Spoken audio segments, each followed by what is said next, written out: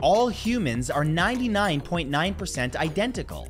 Each human cell contains about 3 billion DNA base pairs, and only a handful make up our differences like shape, size, and facial features. All of our differences are found in 0.1% of our DNA. Craig Venter, president of Celera Genomics, said that since every human on Earth shares 99.9% of our DNA, we are all essentially identical twins. On a DNA level, race and skin color aren't even distinguishable. A news headline about the Human Genome Project once asked, Are we all one race? Because there are no biological features that are present in one race and not in others. Even more shocking is that since all mammals, including ourselves, are descended from one ancestral mammal that lived about 100 million years ago, we share roughly 90% of our DNA with mice, dogs, cattle, and elephants. When it comes to your closest relatives, you actually share 98% of your DNA with chimpanzees.